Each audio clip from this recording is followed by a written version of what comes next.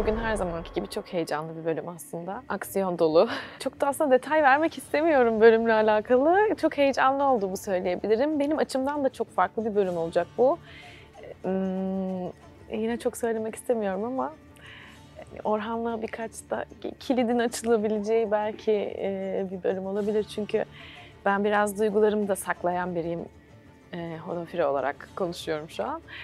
E, birazcık daha kapıyı böyle açmış, aralamış gibi hissediyorum şu an. E, tabii onun dışında da farklı bir bölüm. Devletin e, kurulmasının temelleri atılıyor çünkü. Yani aslında süreç içerisinde çok iyi anlayabildim diyebilirim. E, böyle başlarda çok anlayamıyorsunuz. İşte o şartlara alışmaya çalışıyorsunuz önce.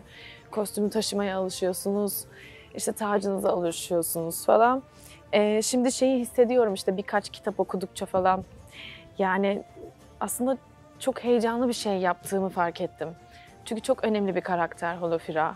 Tarihte de çok önemli bir kadın. Okudukça da ne kadar güçlü biri olduğunu anladım. Ee, onu taşıyabilmek gerçekten çok güzel. Umarım izleyicimiz de böyle düşünüyordur.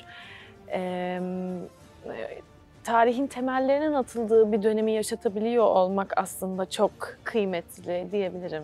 Koskoca bir tarih yani hepimizin kitaplardan okuduğu, işte benim bir sürü sınava girdiğim zamanları yaşatabiliyor olmak çok önemli aslında. Ben aslında bu şartları da yaşıyoruz bu arada.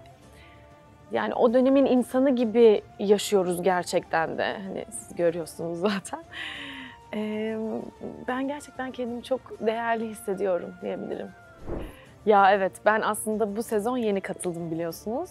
Ama çok uzun zamandır Osman'ın devlet kurduğunu işte e, ailesiyle beraber daha güçlü bir sürece girdiklerini görmeyi istiyor izleyici. Yani yorumlara bakıyorum. Onlar adına çok heyecanlıyım o yüzden. ben de öyle.